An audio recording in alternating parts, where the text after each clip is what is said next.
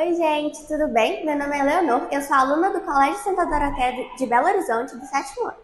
Eu sou o Luiz, também do sétimo ano, e hoje eu vim falar sobre a Ocean Week, que é um projeto que nós estamos fazendo, que a gente fez leitura de um poema, arte sobre ele e também estudamos animais marinhos. Nós, a gente gosta muito do mar, né? Porque ele faz parte do nosso planeta, a gente se importa muito, e sem ele, é, a gente não tem, né? o nosso planeta como a gente gosta, né? Então, a gente se importa muito com a vida do mar. Ocean Week é um projeto lá de São Paulo, mas Minas também está muito atento em cuidar dos oceanos, já que é uma responsabilidade de todos, porque a Terra é o nosso lar. É, o oceano é, a, é o maior cômodo dela. E se a gente quiser continuar vivendo nela, a gente precisa cuidar de tudo, incluindo dos oceanos, dos animais marinhos, de toda a biosfera. Muito obrigada!